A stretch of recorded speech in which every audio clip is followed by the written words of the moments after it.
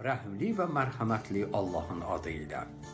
Əziz həmvətənlərimiz və soydaşlarımız, Azərbaycan Talışlarının İctimai Şurası adından Ramazan bayramınızı təbrik edirik.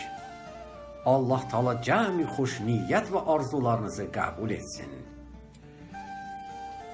1400 il öncə bu mübarək Ramazan ayında nazil olmuş Qurani Kərimin saysız hesapsız hikmətlərindən bir ikisini hatırlatmaq istərdik.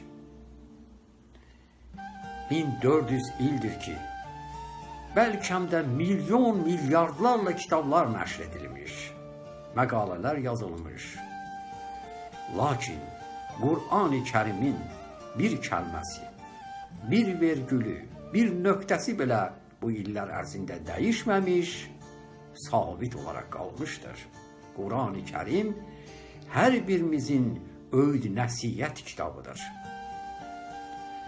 Quran-ı Kərimin məhz Ramazan ayında nazil olması barəsində Bəqərə surəsində bildirilir ki, insana doğru yolu göstərən, bu yolu açıq açıq dəlilləri ilə aydınlaşdıran və haqqı batildən ayıran Quran Ramazan ayında nazil edilmişdir. Ramazan ayına yetişən şəxslər bu ayı oruç tutmalıdırlar. Allah Taala əvvəlki ayəsində isə bildirir ki, bilsəniz oruç tutmaq sizin üçün nə qədər xeyirlidir. Demək, Allahın bizə bəxş elədiyi bu mübarək ay həm də cismən və ruhan islahımızdan ötürü verilən bir şansdır. Allah Taala Əl-Hücarat surəsinin 13-cü ayəsində bizə xatırladır. Ey iman gətirənlər, biz sizi bir kişi və qadından yaratdıq. Sonra bir-birinizi tanıyasınız deyə xalqlara və qəbilələrə ayırdıq. Allah yanında ən hörmətli olanınız təqvalılardır. Allah hər şeyi biləndir, xəbərdardır. 11-ci ayəsində bildirir. Ey iman gətirənlər, bir qövm digərini lağa qoymasın. Ola bilsin ki, lağa qoyulanlar lağa qoyanlardan daha yaxşı olsunlar. Rəbbimiz Ər-Rum surəsinin 22-ci ayəsində bildirir. Göylərin və yerin yaradılışı, dillərinizin və rənglərinizin müxtəlifliyi də onun qüdrət əlamətlərindəndir. Şübhəsiz ki, bunda bilənlər, yəni ağıl və elm sahibləri üçün və onun hər şey qadir olmasına dəlalət edən nişanlar vardır.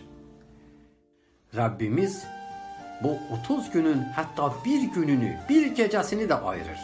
Hətta bu gecədə də düşünüb, əgər öz islahınızla məşğul olsanız, sizin bu ibadətinizi 80 illik ibadətdən də üstün tuturam deyir.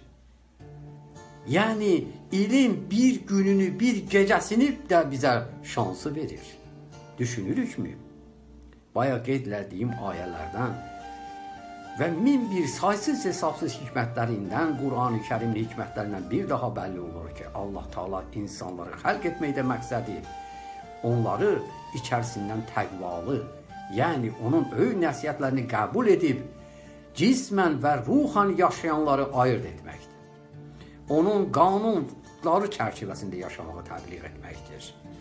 Məhz xalqlar dostluğunu, xalqlar arasındakı münasibətlərin xoş olmasını, sülh məramlı olmasını təbliğ etməkdir.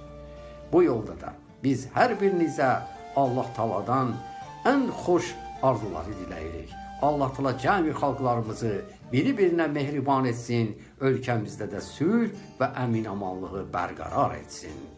Bir daha Ramazan bayramınız mübarək olsun əziz həmvətənlər.